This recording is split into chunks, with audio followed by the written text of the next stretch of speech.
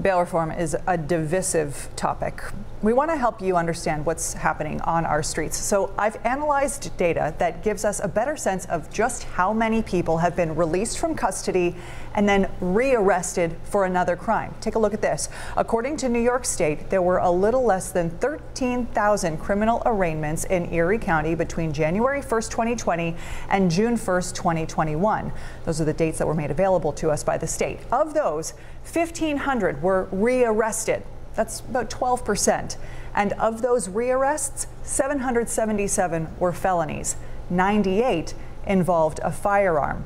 The New York City comptroller found that both before and after bail reform, fewer than 1% of people released pre-trial were rearrested on a violent felony charge.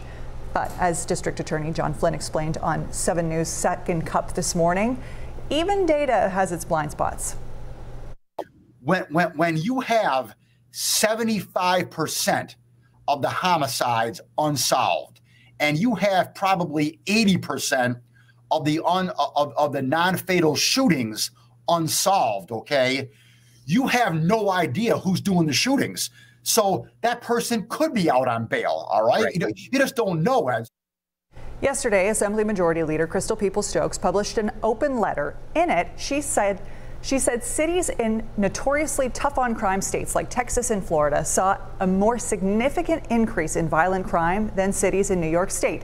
These states still use cash bail for low level offenses. While we must take any uptick in crime seriously, we will not solve the problem if we don't understand the real cause. She then went on to propose investments in rehab and reentry programs. Meantime, Governor Hochul has heard these concerns and is proposing a new plan to revamp bail reform.